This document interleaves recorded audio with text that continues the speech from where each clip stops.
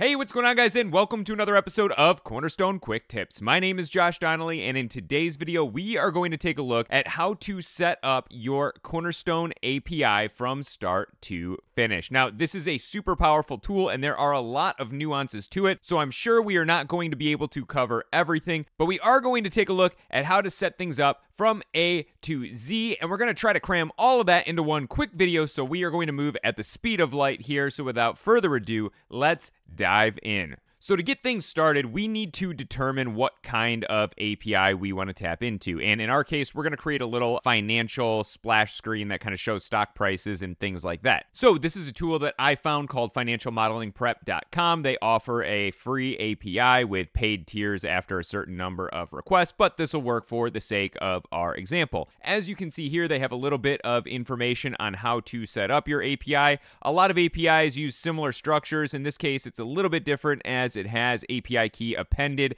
as a parameter to the URL of every request. So we are going to go ahead and set up a free account with Financial Modeling Prep here and then jump into our setup in Cornerstone. So we've gone ahead and set up our free account with financialmodelingprep.com and you can see they've provided us with an API key here. But before we go ahead and set up anything with the API key, let's dive into Cornerstone and begin laying the groundwork for our API. So with the latest version of Cornerstone installed, let's hover on the Cornerstone Cornerstone menu here and go into Cornerstone settings.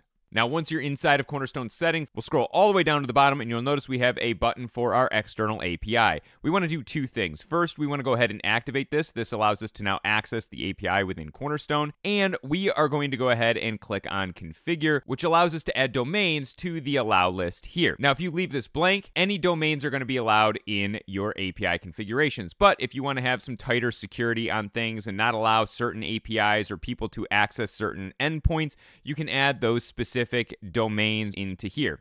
What I'm going to do, because we want to access a few things, I'm just going to add the top level domain. So you'll notice that they have this HTTPS financialmodelingprep.com. We could get specific and say we only want to allow our site to access the search query, but we're just going to back this up a little bit. And let's just say that we want to only allow anything from financialmodelingprep.com. So we'll go ahead and copy this domain here and jump back over here, and we could add that to our allow list. And now, if I was setting up a different API, let's say for Pokemon, it is not going to work unless I now add the Poke API to this as well. So just to give you a sense of how you can sort of button up some of that security. So now that we have that domain added into our allow list, let's go ahead and scroll up and click on update. Now we're really starting to lay the groundwork here. So now let's jump into Cornerstone and go ahead and launch the builder. And we'll jump into Cornerstone here and let's begin creating our page. Now we're just going to set this up as a standard page for the sake of example here.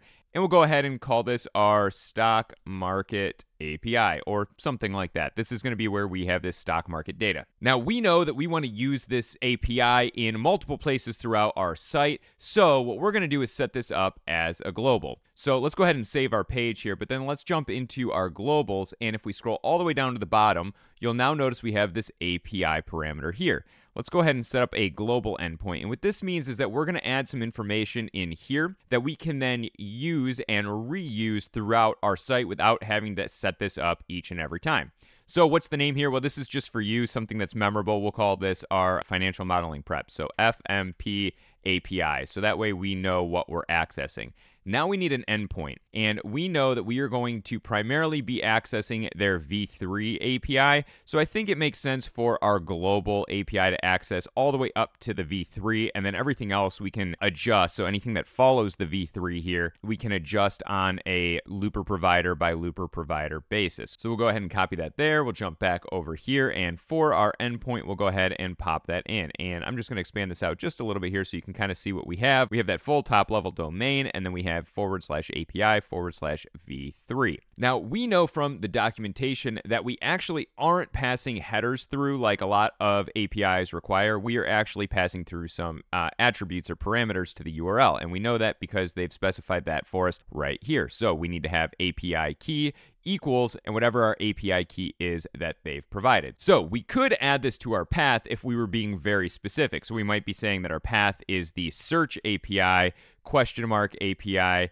key equals and then one, two, three, four, five, six, right? So we could do something like this. The problem is that's not very reusable. So what we want to do is actually get rid of the path. We're going to control the path for each one of our individual uses of this API. So we're going to go ahead and leave that blank. But how do we append our parameters to the URL?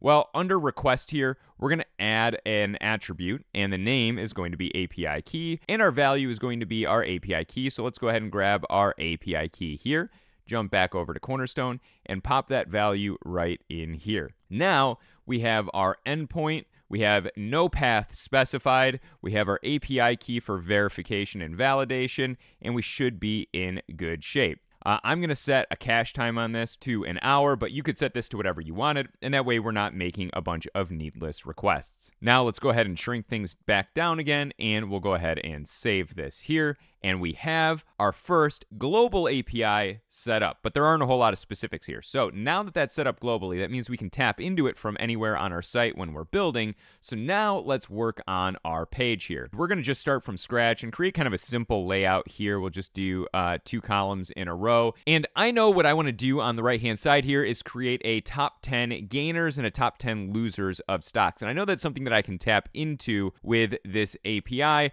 because in the documentation here, if I scroll down under market overview, we have API paths for stock market gainers, and this returns gainers, and stock market losers, and this returns losers. So this is great for us to tap into. So let's jump back over here and begin figuring things out. Now, you could just start working on that top gainers, top losers design, but I find it much easier to start with the API tester element. And this is a phenomenal tool that's been put together to help see the information coming through. So let's go ahead and just drag that out here. Now, this is not something that we are going to keep on our page, but this is so that we can kind of see what information there is to tap into. Now, the first thing I'm going to do is click on the provider, the outermost edge of this container, and jump into Customize.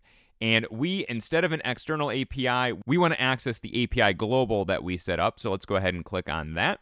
And then we get to select our global, and that was the FMP API that we set up globally. Now you'll notice it's grabbing our global API here, but we're still returning an error, and you can see that by the red outline on our API tester element. So now we can begin specifying a path. Now I know right now that I want to work on my top gainers stocks, right? So it looks like our path for gainers is v3 forward slash stock underscore market forward slash gainers. And as you'll recall, we set up our global to follow this domain all the way through the V3. So all we need for our path is stock market gainers. So let's jump back over to Cornerstone here and type that in. We'll type in stock underscore market forward slash gainers and our API key is automatically being passed through to validate this request, and we are now in good shape. So we can see what we're accessing. You can actually see right here that my API key is automatically being added in to the API request for this information, and you can scroll through the response details here where I can see a list of everything that came back from that API request. So this is a great starting point for us to build out our top gainers. So first things first, let's go ahead and create some styles that we can then begin populating populating with our data from the API. Now, I'm just going to breeze through some of this here. Obviously, you would set this up however you wanted, but I do know that I want a top gainers section and a top losers section on the right hand side here. So, what I'm going to do, because I need two looper providers to do that, is I'm going to set up two div containers and then we'll style everything inside of those divs. So, we have our column here. Let's go ahead and add a div, and then we can add another div. So, this one will be our top gainers, and this one will be our top losers. Everything else, we're going to just add in inside of there. So let me set that up real quick here. All right, so we have our design set up here for our top gainers and our top losers. Uh, and obviously, we're not populating that with any data from the API just yet. So let's get started on that. Now, as you'll recall, our API tester over here is currently looking at the top gainers path. So we're going to go ahead and start with that.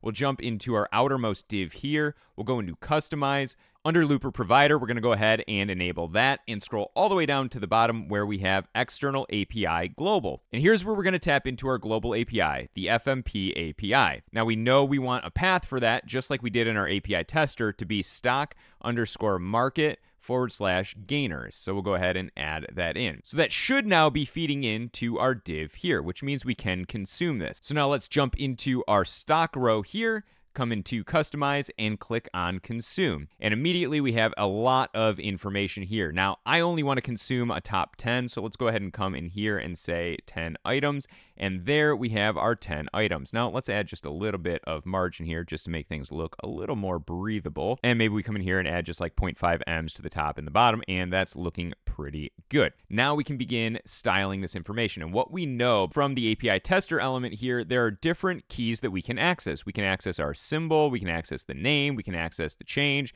we can access the price, we can access the changes as a percentage, and things like that. So First, we're going to access our stock ticker here. We'll jump into our content, and under stock ticker, we're going to go ahead and open up our dynamic content, type in looper field, and we're going to add the key that we want to access. In this case, it is symbol. So we'll type in S-Y-M-B-O-L, click plus, and immediately on the left-hand side, you'll notice our top 10 stock ticker symbols are now showing up. And we'll do the same thing for percentage. We know that our percentage is the changes percentage, so let's go ahead and type that in here. We'll type in looper field key changes percentage and add that in and immediately we're getting our percents in there. Now to make this look a little cleaner we could add a percent symbol to the end and because these are gainers maybe we add a little plus sign before them so they're increasing by these percents here. And then our current stock price, let's go ahead and jump in here and we know that the current price is the price key so we'll click on our dynamic content type in looper field, key equals price, and we'll add that in. And because this is in USD, we'll go ahead and add a dollar symbol before those prices here. And I think things are looking pretty good. So now we can do the same thing to the bottom part here, just accessing a different path in the API. So let's actually just go ahead, since we've already done the legwork on these rows here, let's go ahead and add that row here. And we'll just simply change out this for more of a red, since this is losses, and this for more of a red as well, since they're losses. And we'll get rid of our plus symbol in there because that wouldn't make much sense. And now we're looking pretty good. So we'll do the same thing. Let's jump into our div for the losses. Let's go into customize. Let's turn on our looper provider, scroll down to our external API, access the global API for our FMP API here. You can now start to see why it's really nice to have this global setup so I don't have to be typing all this validation, API key parameters, etc. each and every time. So we do our API global, and then I just need a different path for this, which as I know from my documentation is stock underscore market forward slash losers. So we'll jump back over here and type that in here. And immediately those losers are now populating in here. And this is great. You can see that our top gainers and our top losers are working. And because these are pulling from the API, they will be updated in real time, or in our case, they'll be updated hourly based on the cache time that we have. But we can actually go ahead and take this one step further. Under our API tester here, let's go ahead and add another row. And let's make that a three column row, but we can actually get rid of two of the columns there and we'll add auto here. So that's looking pretty good. Now I'm going to go ahead and add two divs here, but again, you could do this however you wanted to. And in our top div, we're going to make this 150 pixels. And our bottom div, we're going to add a little bit of padding. Let's call it 2 M's. So we want to have some sort of current market articles showing up in here. And so we can jump into our API documentation here. And on the left-hand side, we're going to scroll to the news section, and we're going to take a look at these FMP articles. Now, as you can see, the endpoint or the path here is v3, which we already have in our global, forward slash FMP forward slash articles. And then you could also pass through some additional parameters there, but we're going to just worry about the first part. So forward slash FMP forward slash articles. So let's jump back over to our stock page design here. Let's go ahead and click on our row and go over to customize. Under customize, under the looper provider, we are going to turn on our external API global. And like the others, we're going to access our FMP API here. Now, that path we want is going to be that FMP forward slash articles. So these are articles written by FMP, and that should now be piping information into this provider here. Now, as with any provider, we need to have a consumer. So let's jump all the way down to our base column here come over to customize and turn on a consumer. And you'll notice nothing appears to change. And it should be because there should be data there. And the reason for that is because if we jump back over to the row here, over to customize, we need to add in a data key. Well, how do I know that? Well, let's actually grab our path here and jump up to our API tester and test this same thing and see what the data is that's being passed through. When I add that path of FMP forward slash articles, you'll notice that first there's a data key of content before it's returning the article information information to me. So I need to access that content piece before I can access the different keys within content. So you can see where this API tester is super useful. So let's scroll back down to our API provider down here and let's go into customize. And now we know that the data key that we want to access data inside of is content. So let's go ahead and type that in. And immediately you'll notice that there is now more content being populated here. So now we can begin accessing the information inside of this content data key here. So for our div up top here, I want this to be our images. So let's just do an image element and we're going to access the looper field key of what. Let's look down here. It looks like image is the key. So let's type in image and click plus and see if our images start showing up. That's looking great. Now we want to jump down into the bottom section here and I want to add in some sort of headline go like this here. And maybe this headline is, I don't know, bold. So let's go ahead and make it bold here. And we'll make that headline the same kind of thing. Let's go looper field key is title. And again, you could add as many of these things as you wanted as long as they are in the API and you can access those keys. So there we have our title. And now on the column itself, let's go ahead and make the column clickable. And the URL for the articles is going to be looper field key and let's see, they have a link. So let's go ahead and type in L I N K and add that in. Now, because these are being pulled from third party sites and they're going to link out to articles on third party sites, I personally want to open them up in a new tab. That way, I still keep the user's session on my site open, even though it's taking them out to a new site. And now let's just do one more thing here, just so it looks like these are clickable. This is just going to be an easy one that we're doing. Obviously, you'd want to style it more than this, but under interaction, I'm just going to set this to uh, an opacity of 0.5 and that way when you hover on these you'll see them kind of fade out. Okay that's looking pretty good. Let's go ahead and save and let's check this out on the front end of our site.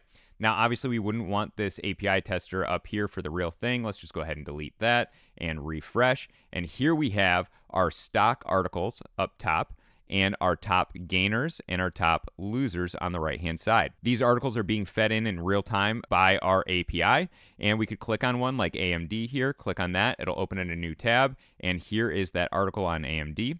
Can go ahead and close that, open up this one on Boeing, click on that, and there's our Boeing article. And now, in a short amount of time, I've tapped into a robust external API that allows me to populate article content on this page, as well as stock gainers and stock losers. As you can see, the sky is truly the limit when it comes to external APIs and pairing those with your WordPress builds. As always, I hope you guys find these videos useful, and I will see you guys in the next video. Happy building!